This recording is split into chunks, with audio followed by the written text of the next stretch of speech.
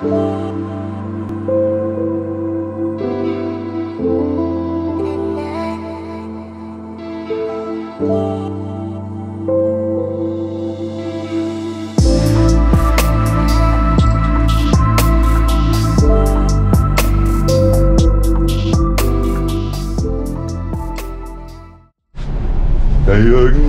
schon ganz gelb im Gesicht vor lauter Angst, weil mit der Seilbahn auf 3000 Meter Aber da der Jürgen keine Angst hat, hat er von niemandem und nichts ist das ja überhaupt kein Problem. Jetzt fahren wir mal schön aufs auf und so, lassen uns mal durch die Gold gehen und ein wenig in die Berglandschaft. Richtig. Machen eine schöne Optik, ne? und genießen schönes Dächle. Eine Seilbahn, die ist lustig, eine Seilbahn, die ist schön. Da woll ich, komm da jetzt einmal zu dir rüber, dass wir einmal beide drauf sind. Ja, Sollte doch eigentlich so funktionieren. Genau. Servus, Le. Servus, schau mal, da fahren wir auf. Da geht's steil in Bergen auf. Und dann müssen wir oben noch einmal ein paar Mal umsteigen. Wir noch umsteigen um, ja? Ja, freilich. Okay. Wir oben nochmal umsteigen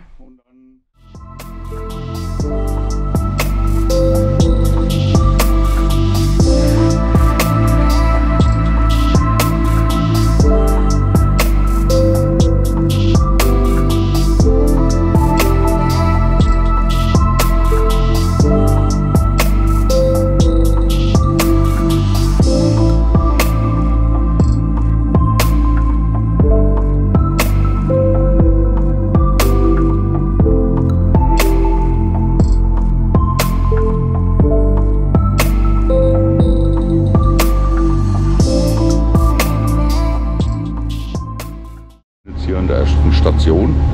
Wir müssen jetzt dann noch einmal weiter, dann geht es noch weiter dann auf. Dann zeige ich euch das einmal.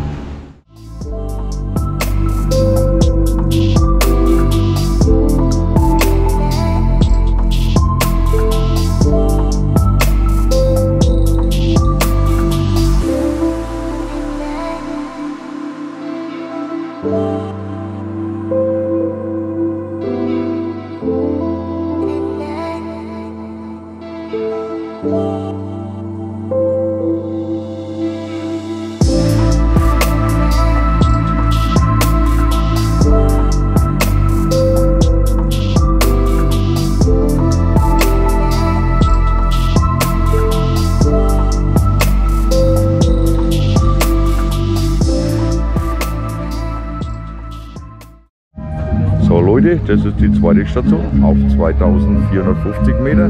Jetzt gehen wir zur nächsten und fahren ganz auf. Ciao. Ciao.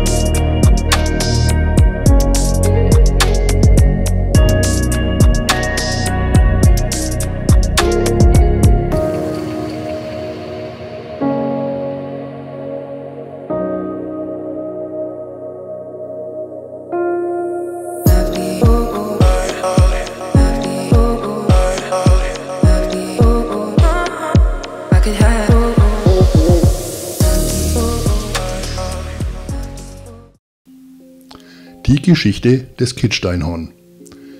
In den Jahren von 1963 bis 1965 wurde das 3203 Meter hohe Kitzsteinhorn als erstes Gletscherskigebiet in Österreich erschlossen und stetig immer weiter ausgebaut und modernisiert. In den 50er Jahren wurde das Skifahren immer populärer und langsam zum Massensport. So wurden zahlreiche Skigebiete eröffnet und Pisten präpariert. Diese steigende Begeisterung für den Skisport fand auch in der Gemeinde Kaprun Anklang und so wurde 1963 die Gletscherbahn in Kaprun AG gegründet. Ziel war es, das erste Gletscherskigebiet Österreichs zu erschließen, das 3203 Meter hohe Kitzsteinhorn. Mit diesem Vorhaben gelang eine wahre Pionierleistung. Der Bau der ersten Gletscherbahn Kaprun 1. Für den Bau der Gletscherbahn Kaprun 1, die in drei Abschnitte unterteilt war, nahmen die Bauarbeiter harte Bedingungen in Kauf.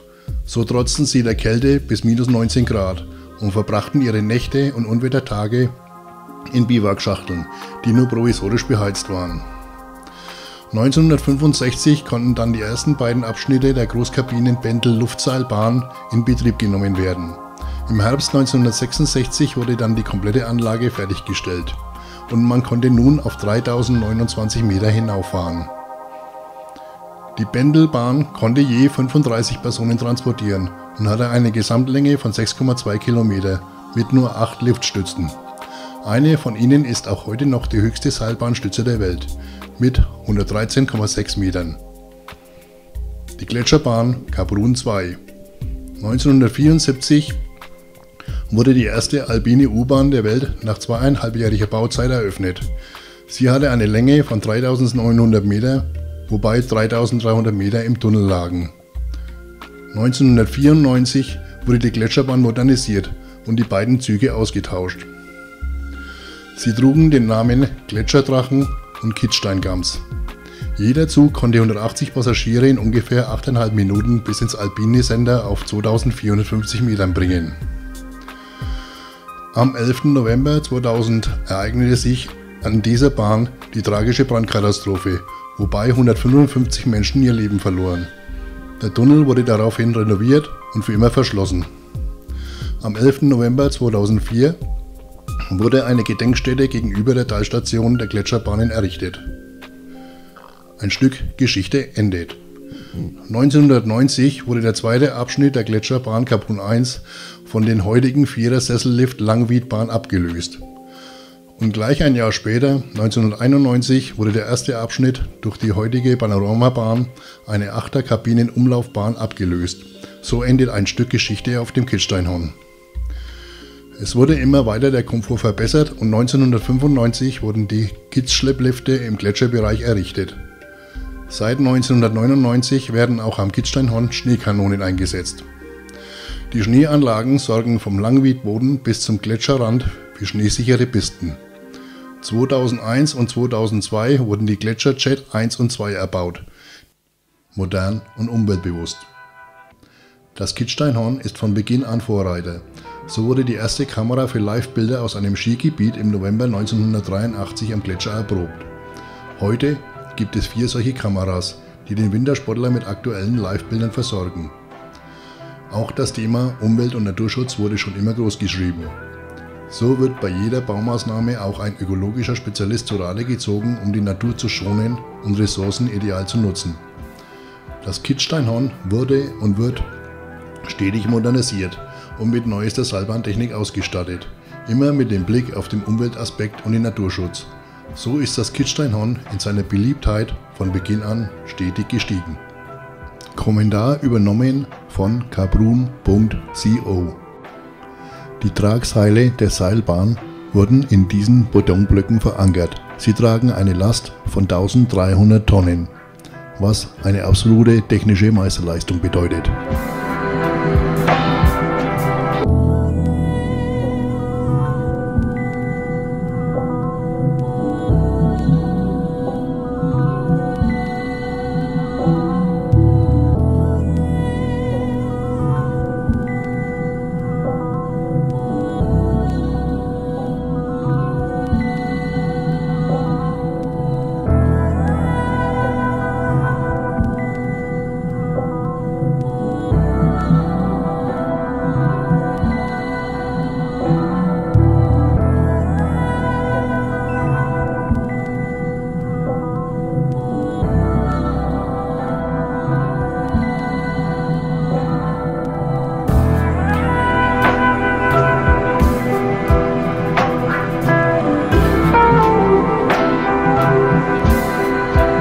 Bye.